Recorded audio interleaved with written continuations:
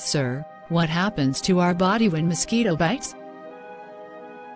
According to the World Health Organization, mosquitoes are the greatest carriers of disease in the animal kingdom.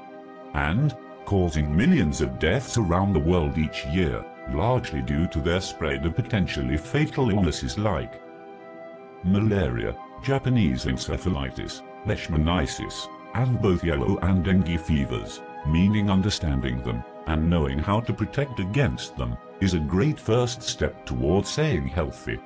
To begin, the term bite is a bit of a misnomer. After landing on you, the female mosquito extends her proboscis, a narrow part of the mouth used to retrieve blood, into the skin, piercing it in an effort to find a blood vessel that will provide her an adequate blood supply to drink from. However, it's not because mosquitoes are hungry for your blood that they bite you. Per se, mosquitoes need to feed on protein-rich meals, like your blood, to produce eggs and propagate their species. When a mosquito bites us, our body's immune system creates histamines.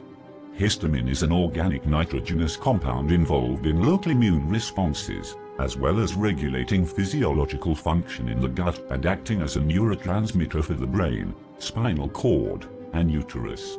5 ways to prevent mosquito bites. 1. Dump out any standing water near your home.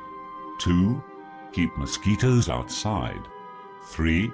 Wear light-colored clothing, especially outdoors. 4. Make yourself less appealing. 5. Try a natural repellent. Thank you, Doctor.